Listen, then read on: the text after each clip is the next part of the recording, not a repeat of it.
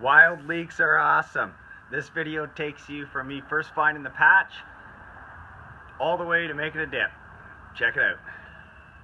It's May 10th here in southern Ontario and I'm just out. I've been doing some research on wild edibles and I believe that this is a wild leeks or ramps. Cool. So they're clearly not ready from the research I've done. See if I can find some more. I just pluck a tip of a leaf. Yep, which definitely garlicky and oniony smelling and tasting. So cool. I went ahead and harvested two of the biggest ones I could find uh, just because I really want to try them.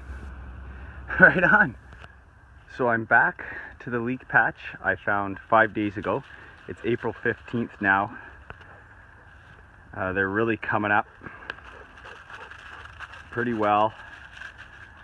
Dog stepping on them a bit, but that only is going to hurt the leaves for this year and it's not going to damage any of the bulbs or anything like that with it being a perennial. And if they can't take animals walking on them, then they wouldn't be flourishing the way they are. and she loves it back here. So I am, I realize they're still immature, but I am to harvest just a few of the biggest ones so I can make a fresh leek dip as well as put them in the scallop potatoes. Alright, so I've never done this before. I'm just gonna... So I take everything that I say in this video with a grain of salt.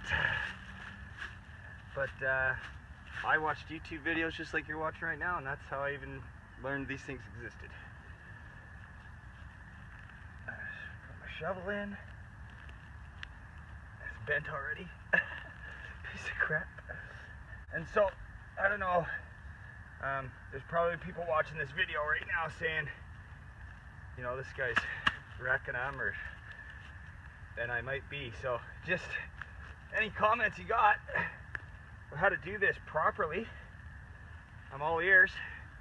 And I do realize that these are very um, young still, but I'm just, I'm only literally gonna take maybe, I don't know, a dozen of them. So I got that. I'm just gonna separate them out. Yeah. Right on. I'm gonna go, I'll repack the dirt in here. And this is a huge patch. And nobody more than me wants it to be sustainable because no one else is picking leeks back here. It's private property, I have permission, the landowner doesn't care for them. So nobody more than me wants it to be sustainable. So if there's any tips or anybody out there's got any information, um, and if I'm doing anything terribly wrong, let me know. Wild leeks, Thanksgiving dinner in the scallop potatoes, and the dip. I'm excited to try it. My shovel broke in half. Guess that's what you get for nine bucks at Walmart. Clearly gonna need a better tool. piece of junk.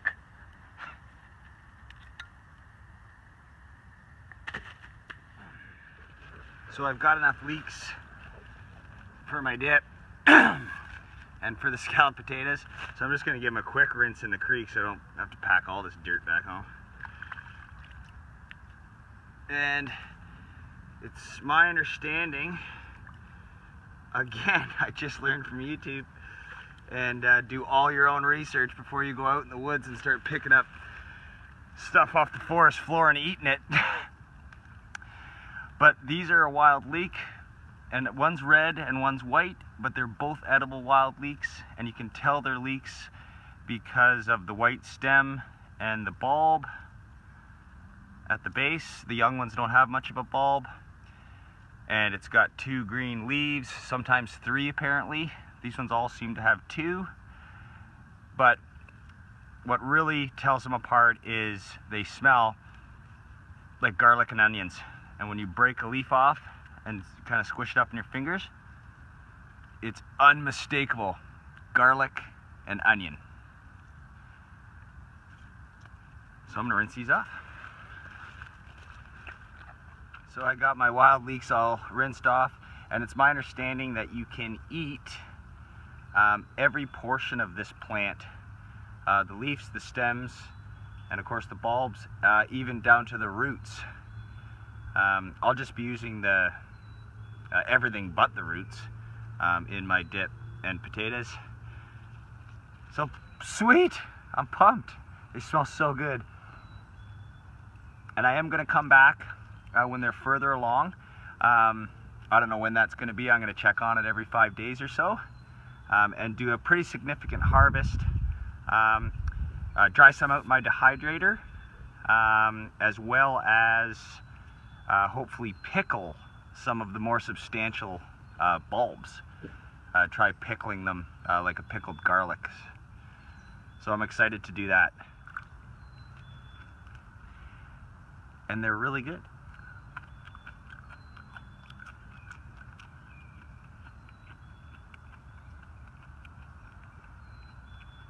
not too um, not too potent at all when they're this stage. So I don't know if they get stronger flavored or not. But they're really nice right now. Really mild. Garlic oniony. Yeah, buddy. So one thing I heard you don't want to do is even though these ones are a lot further along and they look great for as far as size, it's just a little patch I mean, there is a few other ones around. But it's just a little patch and I'm not gonna mess with it. And then that way it can continue to spread as it's, as it's doing. And I'm just gonna wait and have patience and uh, harvest those ones from just down the hill in that huge patch. And then that way, uh, that's gonna be way more sustainable. And like I said, when I, when I said significant harvest, I still probably will only be taking 2% out of any given patch and almost an unmeasurable percentage of the leeks that actually exist uh, in this forest. And I'll still be able to get probably a half a dozen jars of, of pickled leeks as well as a bunch of dried out um, leeks as well. So I'm excited. And this is going to be good dip. I know it. Yeah, buddy.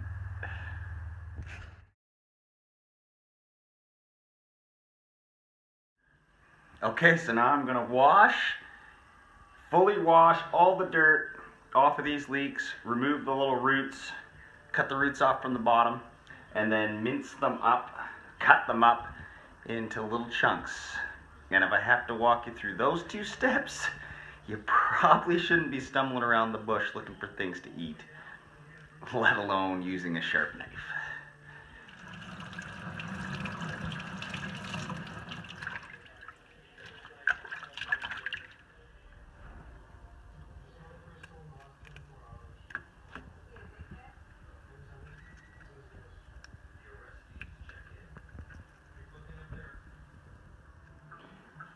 So they're all clean. I cut off all the roots and you can eat the roots. I'm just not going to. I watched a video where a, a, guy really cleaned them up really nice and then dried them out and apparently they're good in salads and stuff. Let's get chopping.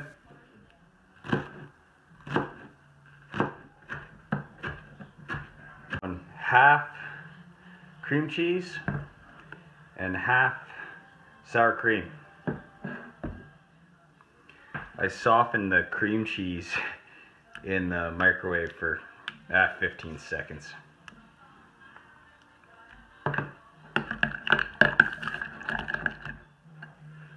Leeks. I didn't put all of, I'm not to put all of the ones I chopped up in, but most. And you got to have your red pepper flakes. Get some of them in there. Yeah, buddy. And salt and pepper to taste. I'll undoubtedly be adding probably a bit more salt.